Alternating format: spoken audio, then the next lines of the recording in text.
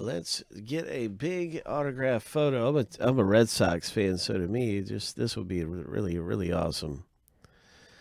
But there are so many things like that in here that could come out. So we'll be ready for just about anything we can find. It's a last name letter box break. Ho! Where everybody gets a last name letter seven times through for the owner names.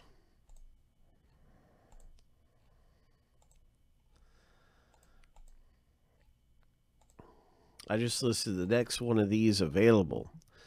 So here's lucky number seven, and if you like this break, you can certainly get into the next one as well. It is out there for you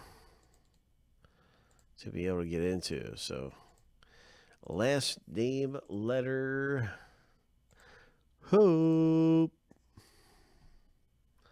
Hope. We've also got a football jersey coming up an autograph football jersey we break really soon. Here we go, seven times for the letter list. Lucky number seven. So W for Williams, T for Trout.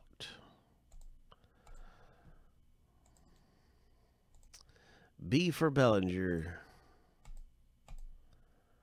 So there's T for Trout, W for Ted Williams, B for Bellinger. Let's see what happens in the rip. Good luck.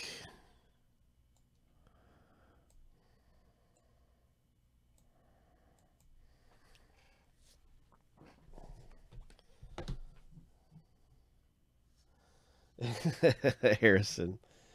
it's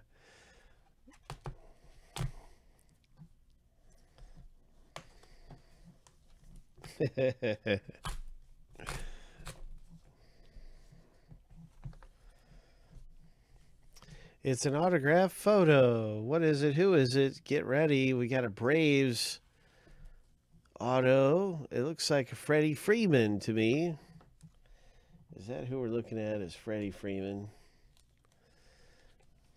It is.